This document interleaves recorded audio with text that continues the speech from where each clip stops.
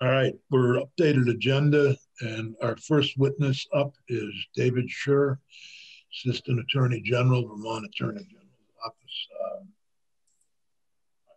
is here to speak to um, S5, related miscellaneous cannabis regulation procedures. David? Good morning, Senator. Good morning, committee. Uh, for the record, David Scher with the Attorney General's Office.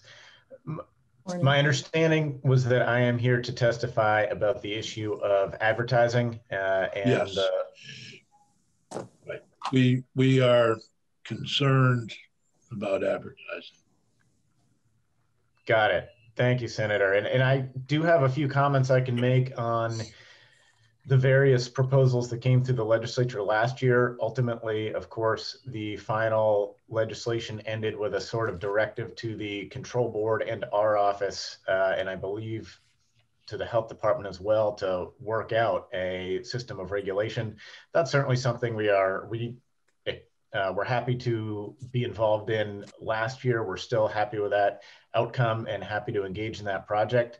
Uh, but if the committee would like to reconsider some of the legislation, legislative versions that uh, that were considered last year, I'm happy to give a brief overview of I'm, the legal issues. I was considering proposing an amendment that would have the House Government Operations version before it was changed on the floor to nothing um, or to no advertising.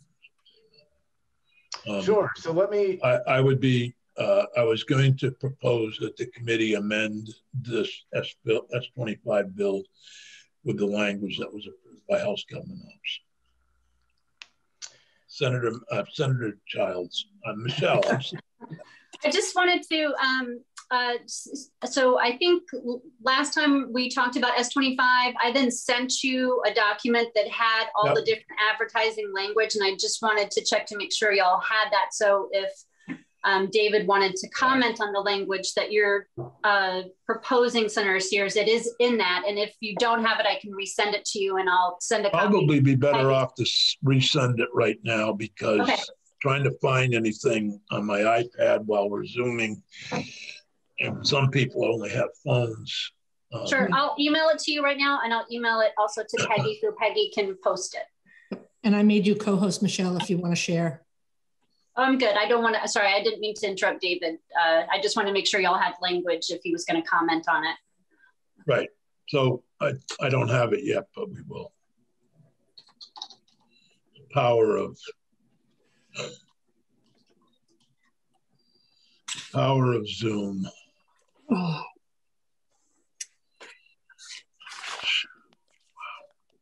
Can't believe the email we get just while we take an hour off the committee work.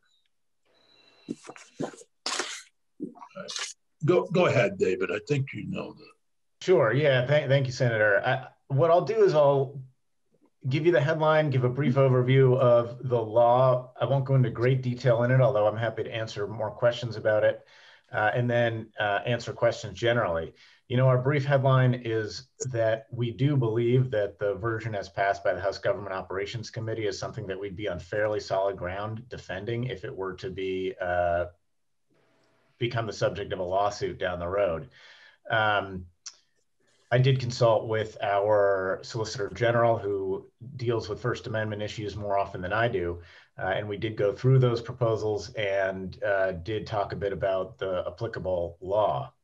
The committee does know, I think, and and should know that everything on this air in this area is a little bit murky given the unusual status of the law in this case. Uh, we are dealing with something that's legal on the state level or will shortly be legal on the state level uh, and is illegal on the federal level, which um, makes everything a little bit less certain.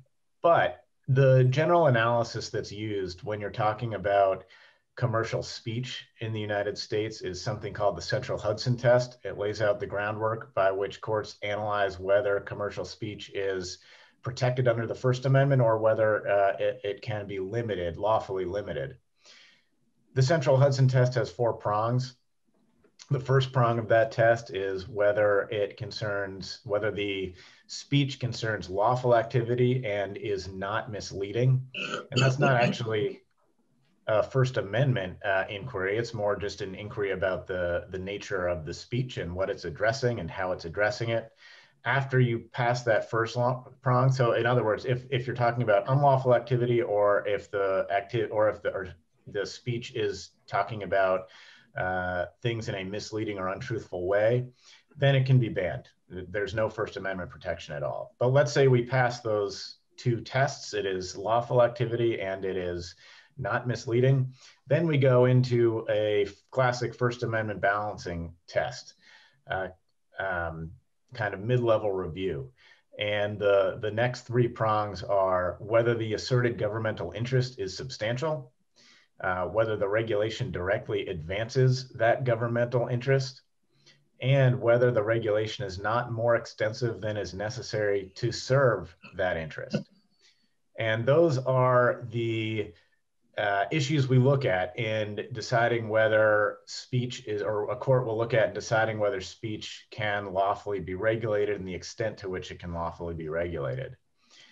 Turning to the House Government Operations uh, proposal, the which hopefully the committee will have or or does have in front of it shortly. We looked through the prongs here and there's two things to think about. One is just applying the central Hudson factors to these uh, prongs. And the second is the broader issue about whether the central Hudson test will apply at all. Um, I'll, I'll go through the first one first, which is let's look at these prongs and think about how central, the central Hudson test applies. And I'm not going to go into this in great detail. Again, I am happy to sort of look into the uh, answer specific questions about specific prongs. But I would say that as we look through this, certainly it's lawful to outlaw speech or you know to ban speech that's deceptive, false, or misleading. That's that first Central Hudson test prong. Um, we think that uh, it's certainly a defensible position to say that you can limit uh, advertising regarding overconsumption uh, that promotes overconsumption. Um, we think it uh, is defensible under the central Hudson prongs to say that it, we shouldn't be representing that the use of cannabis has curative effects, um, especially in the commercial, not, you know, that we're talking about non-medical here, we're talking about commercial sales, uh, retail sales. We think that that is something that there is a governmental interest in, um, in not allowing for those types of representations to be made and uh, and that this is advances that interest and is sufficiently narrowly tailored.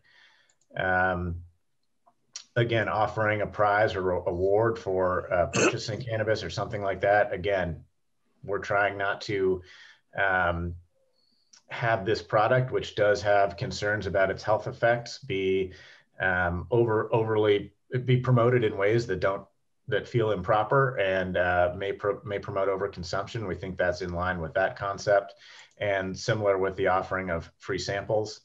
Um, depicting a person under 21, clearly the government has an interest in preventing consumption by young people. The health issues on that are very well documented. Um, same with number seven, appealing to a person's under 21 the subsection C in this proposal regarding the percentage of the audience that's reasonably expected to be under 21 years of age, I understand that that is borrowed from Colorado regulations.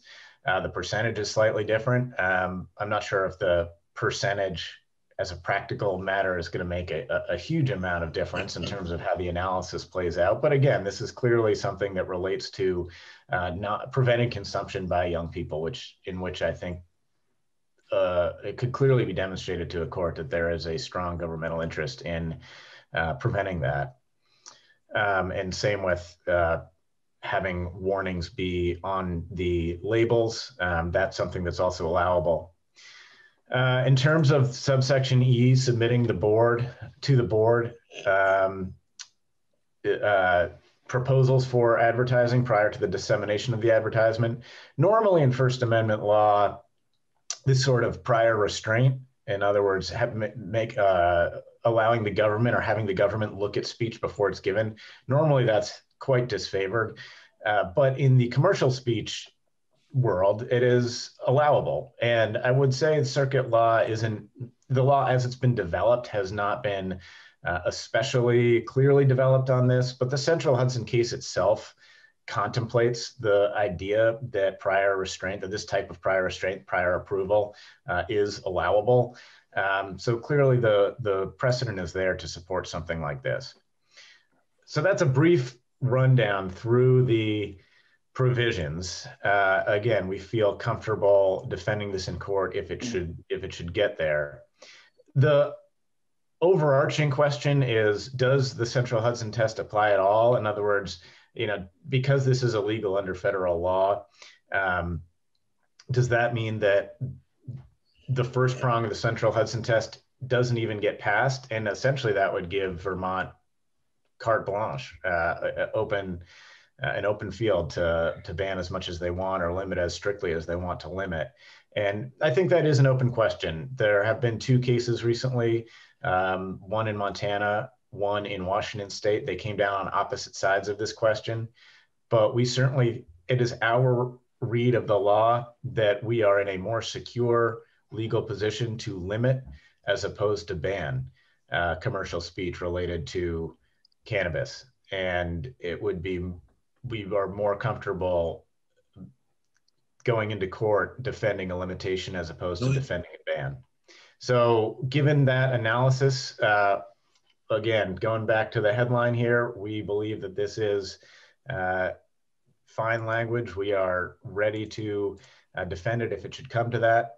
I will note for the court, I did reach out actually to some um, colleagues in Colorado who have worked on the Colorado regulations, which do contain the percentage limitation, just to learn how that's been working in, in practice. And the reality is that there really haven't been uh, many lawsuits brought up in Colorado at all on this. Basically, the retailers and other folks involved in the industry have accepted the regulations and moved forward within them without challenging them. There was a challenge early on in back in I think 2015 or 16 that came from publish, publishers and they challenged the advertising limitations in federal court. Those were thrown out for lack of standing. So the merits of the issue, whether or not in fact these did have First Amendment implications and what they were, those were never decided by the court. Uh, and none of the retailers, none of the folks who would have had standing at, under that ruling, or at least the court indicated probably would have had standing under that ruling, nobody ever seems to have brought a case. Um, and I think what I've understood from my colleagues out there is that the industry seems to have accepted the regulations and decided that it was a better thing just to work within them as opposed to try to go to court and risk um, an, an opinion that that was adverse and sort of the unpredictable outcomes that come I'm, from those uh, types of court battles.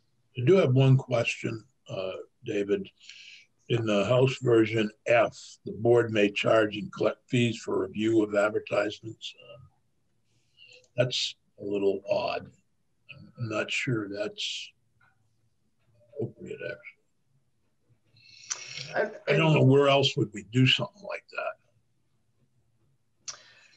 You know, you know I mean, do we do we charge mattress companies for a final liquidation sale that isn't really a final liquidation sale? In terms of speaking to this, just from how many times have you seen on a wall at a mattress company a final liquidation sale? And It's gone on for 27 years. Um, I, I, don't. Do we I charge a fee for that? I don't think I have seen that example in particular. Speaking to this from the First Amendment analysis, I'm not sure that this actually fits in neatly with that. I think that the the state has. I think in, in considering an amendment, I think we should mm-hmm. take out F. And Senator, certainly we would have no no. I think we would have no position on that. Really, I don't think that implicates the First Amendment issues one way or the other. I think that's more about what the state has the power to uh, do in terms of imposing fees on um, people who are, you know, certainly in other instances, the state does impose fees for regulatory reviews. Um, that's that's fairly common. So I, I, I don't think that that has any real First Amendment implication, but I understand there might be other policy issues that the committee wants to consider on that. Uh, what I'd like to do is next Tuesday consider, a, not next Tuesday, obviously, be the 9th of March. We would consider amendments on Tuesday the 9th, Michelle, to the bill. Um, we've obviously had a number proposed, and um, we can let people in if we have questions that are amendments, but I, um, and, and, other witnesses who may want to. Um, and we can talk about that, Peggy, but uh, it's more markup of amendments to the bill. S25, so we can move it along. Um, it's going to have to go to finance anyways, or appropriations or both.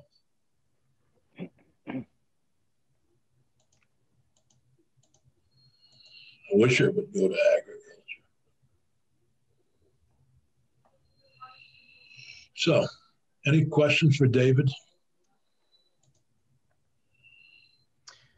Senator, I just wanted to make, if, if there, if this is okay, I want to make one other very quick point about sure. the litigation stance here, which is that, as I mentioned, our office is more comfortable and feels like we're on more solid ground defending a limitation as opposed to a ban. The other thing I just wanted to point out about that is that if we end up getting into a legal argument about whether specific provisions within this um, statute uh, do or do not withstand First Amendment scrutiny. It may be that one or two of them get struck down, but it's likely that at least several, if not most of these, we do believe will be upheld. Um, so it leaves the state in a more protected position to be arguing about a set of limitations. By contrast, if we are arguing about an absolute ban, and the absolute ban were to be struck down by the courts, there would be no limitation remaining on advertising uh, for the cannabis industry. And that we believe would leave the state in a much worse position with respect to the various public health and public safety uh, concerns that are trying to be addressed by limiting advertising. So that's another reason why we believe it's a better position for us to be in to be defending a limitation a set of limitations. That's that's basically why we refused to adopt the House version, the House amended version that had been amended on the floor by the Donahue amendment, because we felt that it put us in a really bad position. Um, that could easily be struck down. Uh, I can't remember what was in the governor's sign non-signing letter. I guess we call it a non-signing letter. So, uh, thank you, David. Thank you. Appreciate you being here. Uh, next, we'll go to an old uh, friend who used to be uh, here very often um, back when we were eating, eat, meeting non COVID style in the State House. Skylar Nash, welcome back. Hey, everybody. How are you? Nice to um, see you. Good. Nice to see you all. I'm glad that I was finally able to take part in this committee with um, some actual concrete title rather than just this ambiguous student activist role that I seem to have been exhibiting for the past couple of years. Do you have somebody else with you today or? Yeah, uh, Blaine, uh, she was having trouble with the link, uh, but she should oh, be okay. now. Uh, and she, I think, is going to lead our testimony off. Um, okay. So. Um, let me, uh, I'm finding my agenda. And yeah, Blaine, um, let me see. Okay. So while we're waiting for Blaine to jump in, um, uh, so wanna, what is your actual title? I am a uh, public policy and research analyst for the Racial Equity, Inclusion, and Belonging Department for the City of Burlington. Say that three times fast. No, I can't even say it once fast. You're a research analyst. Yeah, are you surprised? Yes. no, of course not. Used to do research for this committee. Absolutely, and analyze things. Oh, um, if you wanted to introduce, um, I think you know everybody on the committee. Skylar, maybe you can introduce your Yeah. No, this is uh, this is this is Belaine, my partner in crime at the uh, REIB department in the city of Burlington, um, but also somebody that keeps me in check on a daily basis from just you know the way that I acted up with you all. Um, and so, you know, we wanted to come here today. I, I did get excited in telling her that we were going to be testifying in my home committee today. Uh, so, you know, everybody be nice to her because I've been talking you all up for the past couple of days. so maybe you could um, just briefly update us on your um, uh, the role and um, I wasn't aware that Burlington had a racial equity, inclusion, and belonging office, of, and that there were policy research analysts. So you, either one of you, tell us a little bit about this position? Yeah, well, uh, Mayor Weinberger created the position uh, by appointing our director, Tyeastia Green, um, a year ago now, which seems kind of crazy to think about. Uh, and then um, our two positions were added and we were subsequently hired. And so we really, in our department, focus on uh, policy. We've done a few programs in terms of uh, BIPOC grants related to COVID uh, relief for small businesses and organizations. Um, but mostly we're focusing on policy, um, whether that's creating new policies to center racial equity um, in city departments and policies and practices or fixing ones that exist and are kind of missing the mark. Um, so that's included, you know, cultural, uh, organizational cultural analysis, um, you know, policy proposals around procurement equity, housing equity, um, basically making sure that uh, we are kind of the hub in the city for generating race-centered um, policies and practices. Uh, so I think you know something that we're really proud of and, and, thankful for the mayor and the city council leading on, and and hoping to uh, kind of make our mark here uh, statewide as well. Hey. Well, you're here testifying on S25. So. Uh, Elaine, you want to lead off? Or? Yeah, I'll go. Um, hi, everyone. Thank you for having me. I'm Blaine Intense, as Skylar said. Uh, we are partners in crime and we have reflecting roles. I'm also a public policy and research analyst for the City of Burlington's Racial Equity, Inclusion, and Belonging Office. Um, we're really starting off with the general, um, to continue on a conversation you all had a little earlier around where's the language on race specifically in, in this bill. Um, and I, and I think I think that that we would kind of echo that that uh, having race specific language helps us actually reduce the harm that that has been inflicted by marijuana drug laws. So where our first argument here is that and nowhere in the bill do we directly address that Black and also some Brown communities have been disproportionately harmed by marijuana laws. And therefore, we should be repairing that harm through this bill by including race specific language.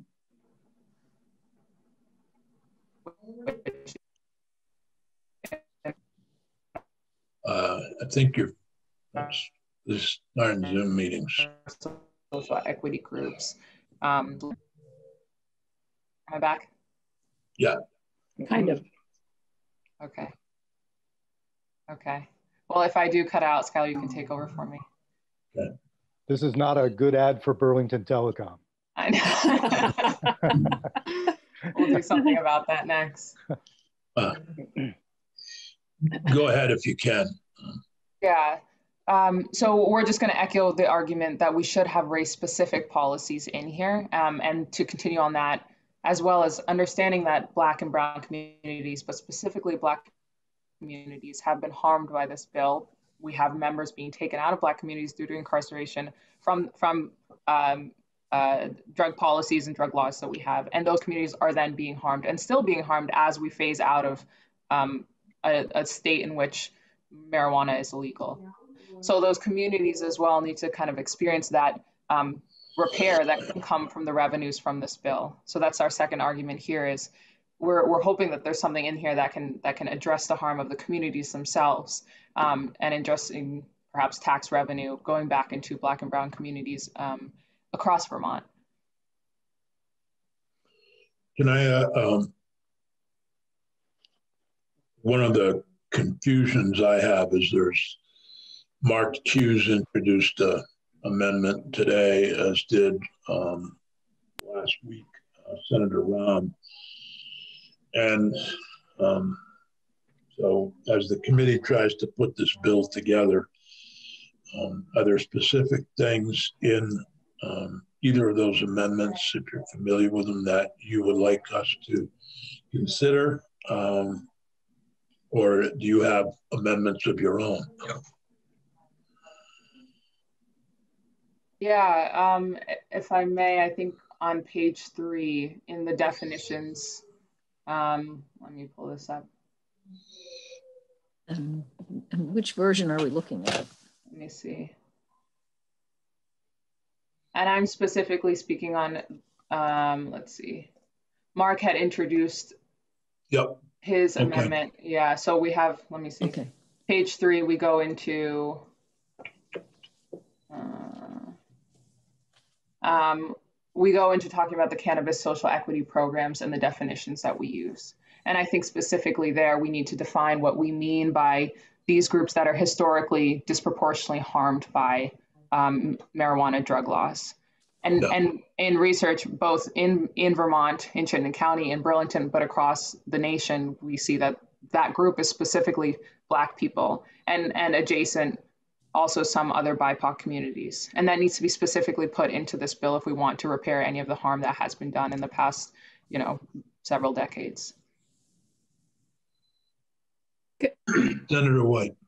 Can I just ask a question on that about, um, because I think in Vermont, another group that was disproportionately affected was um, poor rural kids.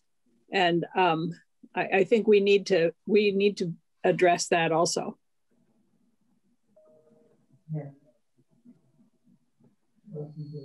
Senator Benning. Um, good morning to you both. I'm wondering, Philip had brought up earlier the, the fact that race was absent from the document. And the more I thought about it, I, I thought that is actually probably a very smart way of proceeding here because I don't know if anybody's done any research, but if you put the word race into, or any particular race into the equation, I don't know if anybody's done any research on the Equal Protection Clause of the Constitution and how that might apply. Um, I know that there are large areas of the state that have an extremely small uh, BIPOC community. And yet there have been people in those areas who have been affected by being arrested for this. Um, and I'm not sure how to resolve that with language that doesn't run us afoul somehow or provide an excuse for this bill to be voted down. So I just want to make sure if there's research out there that has yet to be done about the Equal Protection Clause and how it would apply, I would hope that somebody would follow up on that. Uh, we've kind of interrupted your testimony and, and gone afoul, which is something we often do. But if you have any thoughts on that, and I think Dewan is frozen or unfrozen now, and that's she's having a hard time with the technical. I think she. Oh, I was just going to say, I think she may be frozen, but what I would uh, say to that is I think it's something to, to ask a question about. I think our position uh, in the REIB department in the city is that um, too often when we cast this wide net without being surgical about intention, sometimes we can miss that mark. And I think, you know, uh, Senator Baruth brought this up earlier is that if if our intention is to help and aid and, and be reparative towards uh, Black and Brown communities, BIPOC communities, that um, history has shown us, unless we name that and are extremely intentional about that, it generally doesn't happen um, when we try to cast this wide net to, to serve all of those purposes at the same time. I just want to make sure, Skylar, you've now identified yourself as somebody who's performing research. I'm sending out the challenge. I'd love to see the research and just make sure we're not providing some kind of a stumbling block. Uh, and I'm not trying to suggest that I would vote against the bill if you went with that uh, suggested addition. I'm trying to make sure that we cover all bases moving forward. Uh, you bring up a good point. You bring up a really good point. Senator Um, I, I mean, maybe I'm missing something here, but we've had grant programs from minority owned businesses for yeah. how, how long, you know, like yeah. 50 years. It's hard for me to imagine that if we were to do a similar thing here, we would be in any kind of legal danger. Um, so I, I take the point, I guess, that there might be uh, some House members or some Senate members who might be less likely to vote for the bill if it mentions race or uses race specific language. But I would just echo Skylar's point. If, for instance, Representative Cina's bill, I read through that there's no mention of race, you could wind up with a program that ultimately puts out $10 million in, in funds and then find out that 1% of that went to the BIPOC community, at which point we would say, oh, dopey us, we should have, um, we should have cast our net in a, in a much narrower fashion. So, um, you know, this is not breaking any kind of new ground or, um, you know, I thought that were, is what we were engaged in is trying to, um, to target people who had been targeted. Well, there have been been challenges on quotas um, in uh, universities and so forth. If you set up a quota, I don't see this as setting up a quota.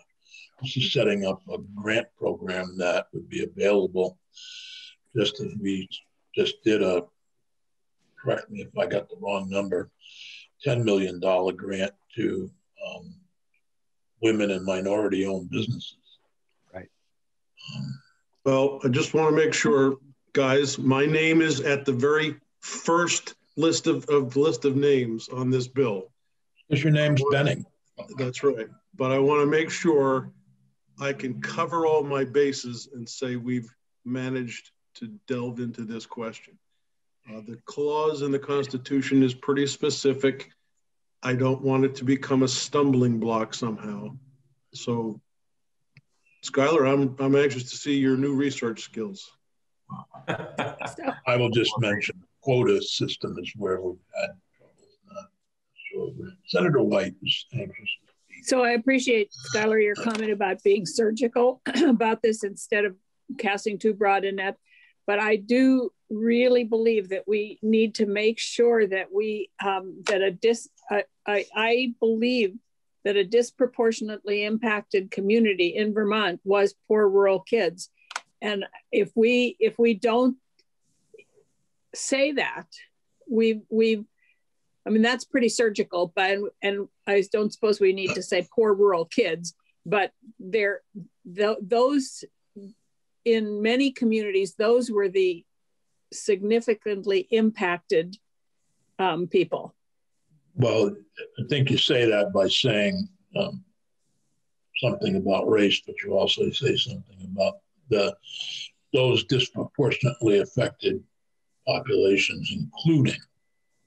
If I if I could, uh, Senator Sears, I think that I you know Senator White, that's a, a great point, and I think that that's something we can't lose sight of. Particularly, you know, there's this national movement where like there's no argument that nationally and and you know comprehensively it's been the BIPOC community that right. is predominantly, but we also have to remain specific to Vermont. And so that's a good point.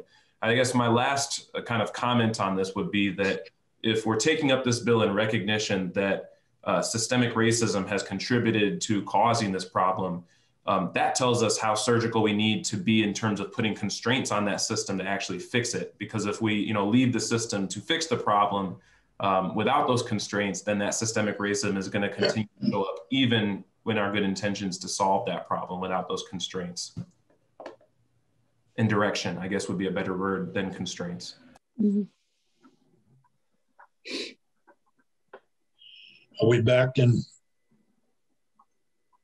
anything else? I, don't want, I I think Blaine might be frozen again. I think unfortunately she is frozen, and um, no. I can, does uh, say a lot about Burlington Telecom, Senator Baruth.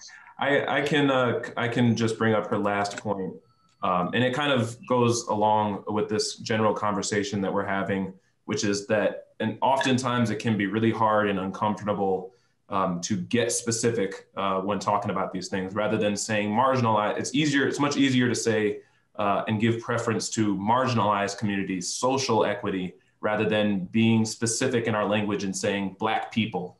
Uh, but that, you know, as we move forward in this movement, that we can't shy away from naming who we're actually trying to help um, with these things, whether it's cannabis, whether it's, uh, you know, uh, sentencing reform, that let's get in the habit of being really specific um, and taking on that challenge of, of being specific and saying, you know, black people, black and brown people, BIPOC people, rather than generalized terms like marginalized communities. Um, you know, because it's not in every case all marginalized communities that have been harmed by these drug laws surrounding cannabis. Uh, and so I think along with this, you know, ongoing conversation that in a lot of ways, the way that this bill reads, uh, you know, we're not necessarily seeking to provide racial equity uh, and so if that's what we really want to do, then we should be specific about that.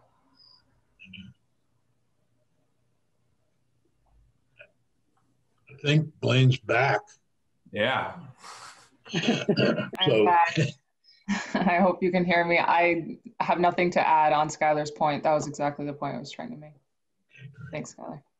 Senator White. I, I don't know how detailed we want to be about, around parameters here, but what what we heard from, um, I just got done interviewing people who have applied to be on the Cannabis Control Board. And what we heard from almost all of them, and they were an amazing group of people for the most part, that had done a lot of research and knew what was happening around the country. And one of the things that we heard was that the um, in most of the states, the social equity um, provision of their law or their rules was really um, sounded great and was good, but the implementation sucked. Um, excuse me, that that's a technical term. The, and that and that what they found in some cases were that that um, corporations or companies had set themselves up and then nominally named a person of color or a woman as the owner or the head of it without it being that being really true. And and so they we i don't know how specific we need to be about the parameters and how what the details are but we need to be aware of that when we implement the policies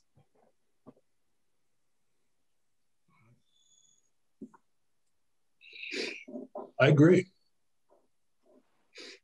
with senator white if I could, I've got um, three other things that I just want to bring up. Oh, yeah, please.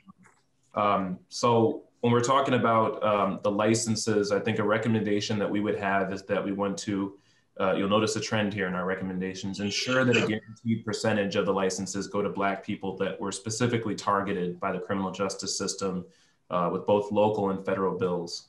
And, you know, a part of this, I think earlier um, might be a little bit harder to accomplish in a good way because as you know we're moving forward on this we're also moving forward with trying to expunge and seal um, you know records that are come have come about as a result of the criminalization of cannabis right? And so then alongside of that it might also be harder to find people black people um, any people that have been specifically um, you know harmed by the criminalization of cannabis.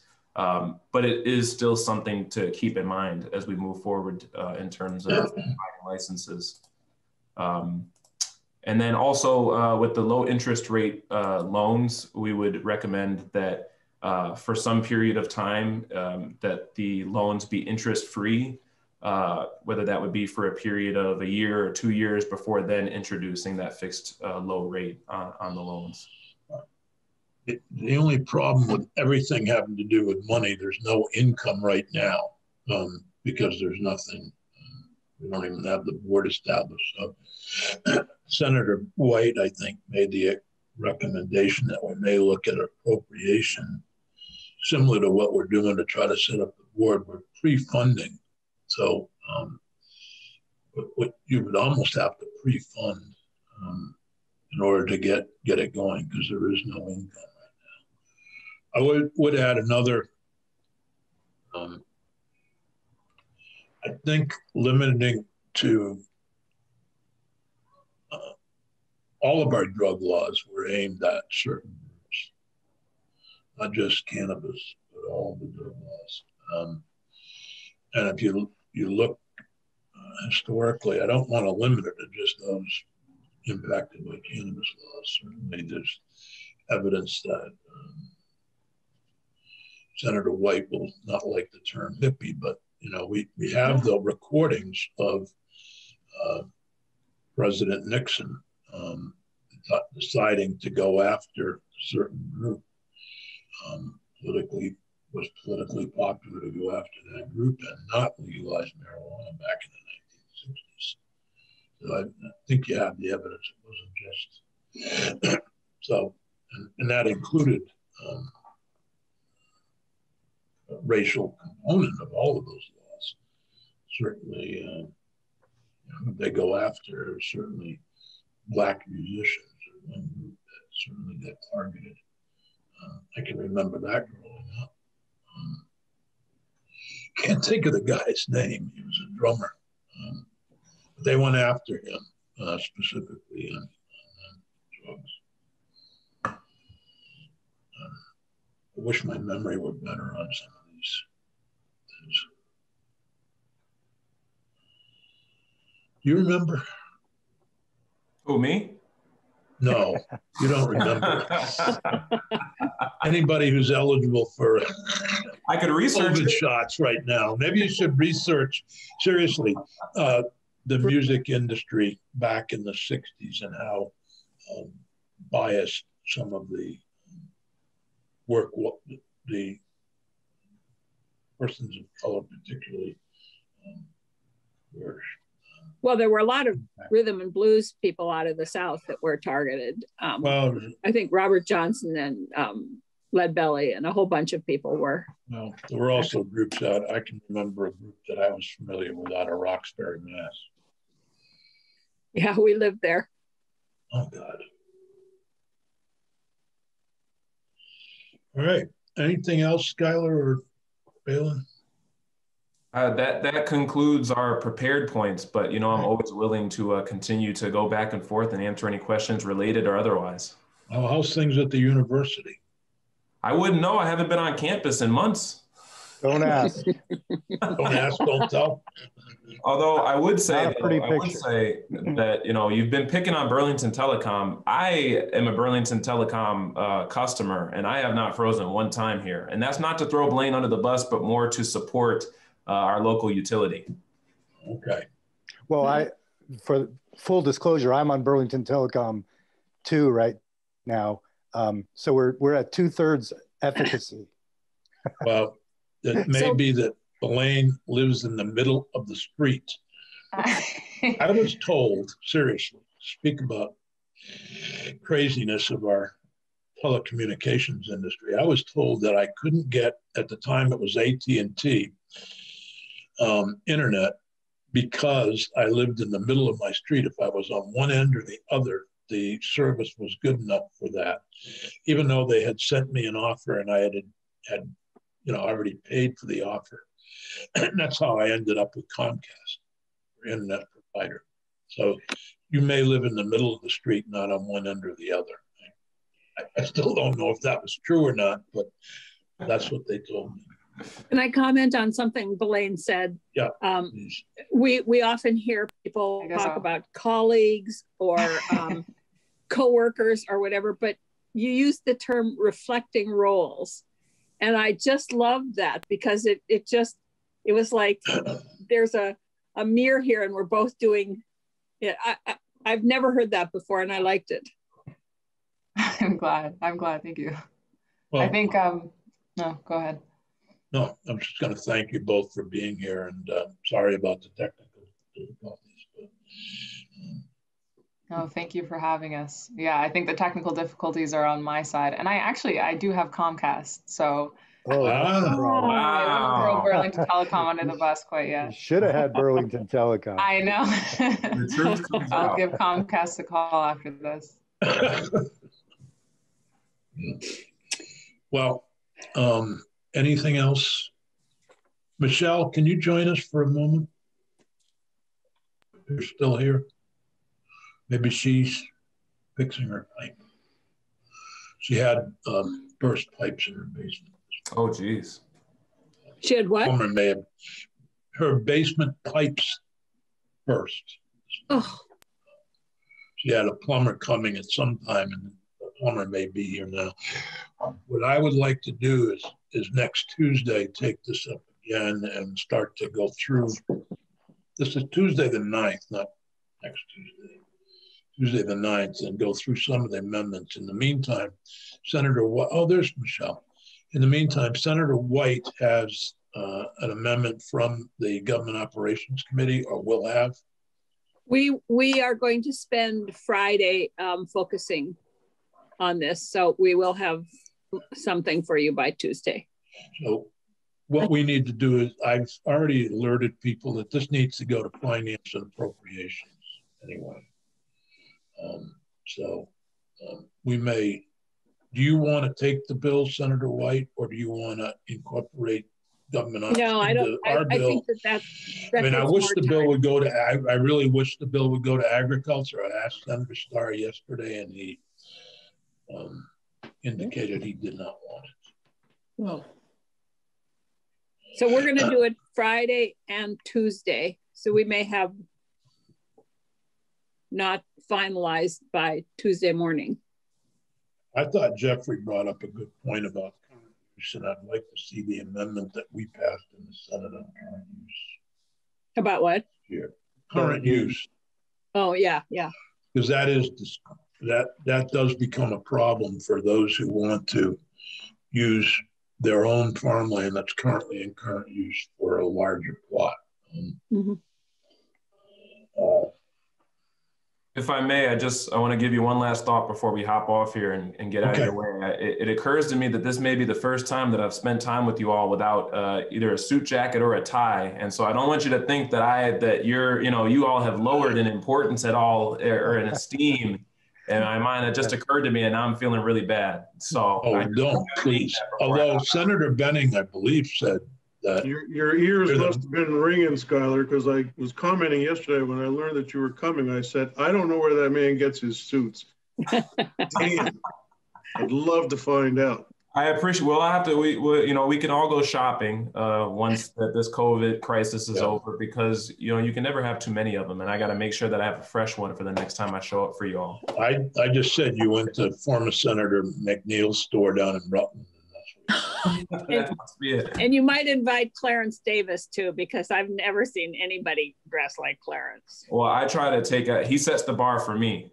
Okay. He's, he's the pace. the pacer bunny. So, getting back to, thank you, Skylar, for that paid announcement. Um, right, right. Um, let me get out of your ways. I'm causing trouble. No, no, no, you, no, no, you, no, you're not. I just, I, I'm trying to think of what. Um, so, anyway, if you can resurrect that amendment on current use. Um, so, I don't know I'm how sorry. to deal with the agriculture parts. I really don't. I think they've made great points, um, and I'd like to build them in. So can I ask a question about the current use, what you just said about you wanted an amendment on current use? Yeah, we had a provision in S54 I think Senator Pearson put in regarding mm -hmm. current use. And it was a larger amount, or maybe it's something we offered on the floor. I mean, uh, Senator Pearson was the was the one who pushed it, and it would have allowed Jeffrey brought it up in his testimony, or maybe it was Graham, I don't know which, regarding the limited size, the thousand square foot size for current use was um, problematic for many of the growers. And I wanted to go at least look at what we had put in S54. It may have been a floor amendment from Senator Pearson or from agriculture. I can't remember. I think what it was is it was just in the back and forth negotiation during the conference uh, committee okay. on current use because the discussion of current use didn't come in until it was in Ways and Means uh, on right. the House side. And so your debate for conference was around how you know how much could be in current use. Uh, the House was opposed to taking and to um, to doing current to to taking. I guess they didn't want to lose the tax revenue. Um, and so I think what you guys settled on was that a thousand square feet or less could apply. It doesn't take, so if you have a thousand square feet and it's on a tract of 20 acres that is in current use, it only takes that small plot out of current use. It doesn't, doesn't take the whole prop, the, whole, doesn't take the whole acreage out.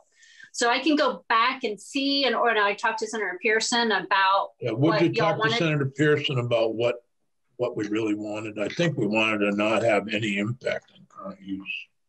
Okay. So you just so if it's already in current use, you don't want it to come out of current use, no matter I don't how want it big to come out, no matter how big the field is. Okay. I think that was where we were at. You're right. It was probably negotiation. Right. And then what, and is there, other than the current use issue, is there anything else you need me to take? Well, I think we have the,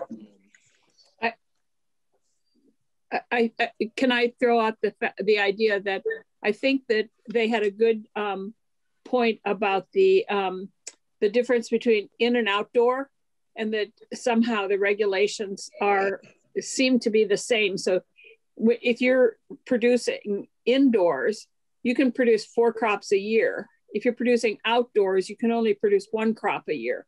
But so the size, if we're putting some kind of a product cap on at all, we need to differentiate between in and out.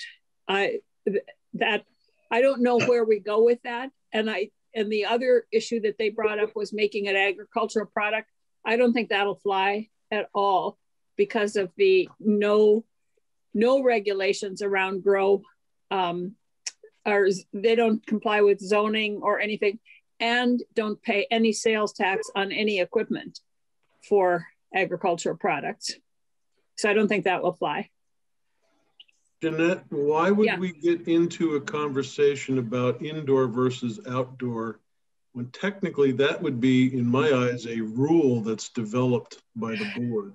Yeah, I, I'm I'm fine um, having it be a rule because I I think there's a lot of this that should be rule that's developed. Well, we can direct the board to develop size. You, you did, you, did. you did in yeah, 164. We did. Okay, yeah. well. I'm fine with that. Well, I'm all right. Okay. Well, we'll pick up a week from Tuesday.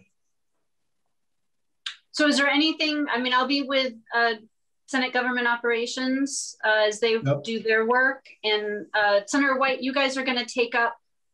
We're not uh, going to. We're not going to do it this afternoon. Yeah, Gail just emailed me. But tomorrow. Yeah, but, um, tomorrow, starting about 1.30. That's okay. all we'll do. And the topics that you're going to focus on? Well, I thought that the vote, the um, issues around, if there's issues around the board, um, Senator Ram's amendment, and the committee wanted to hear the uh, 2% um, bill that just got sent to finance. They just wanted to hear. Okay. So can you have, uh, do you want to have Anthea in on that?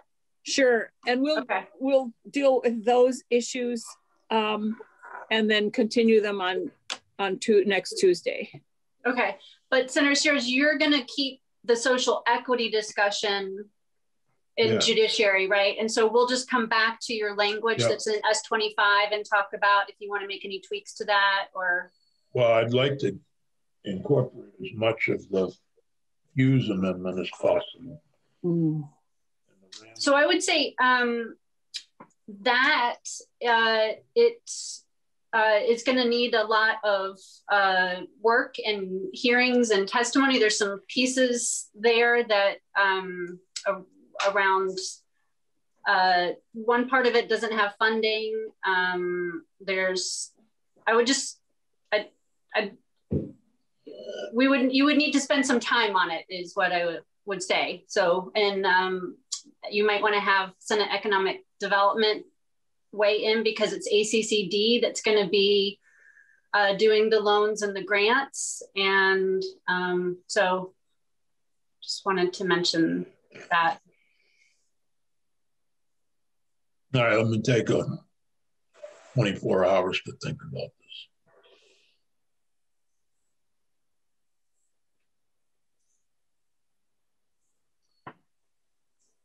Um,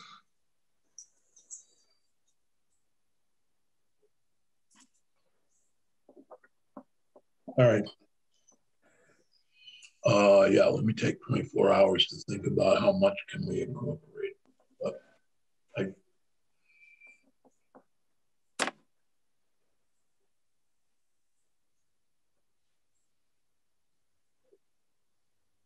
I don't know. I kind of like the idea of not being constricted by time.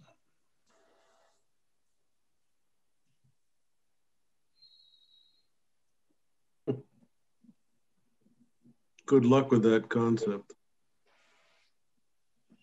I mean, we're not constricted by time if we don't want to have something passed out this year. There's no time constriction if we're willing to um, continue the conversation and not pass it this year.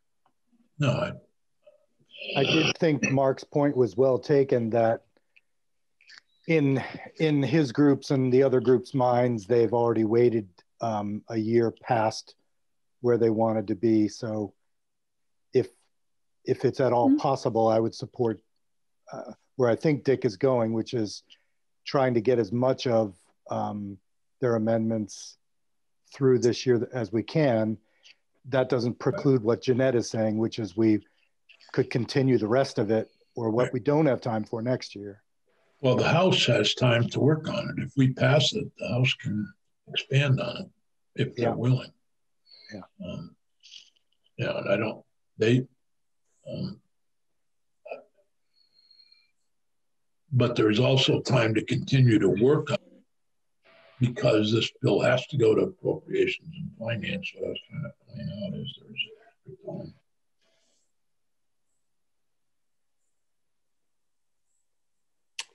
we voted out. It automatically goes to appropriation and finance. So, so that's two stops in that week after I guess crossover.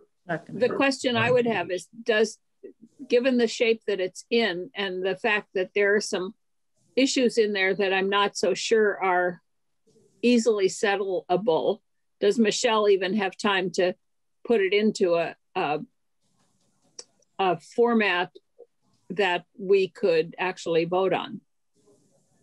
I guess that's a bridge we'll cross when we come to it.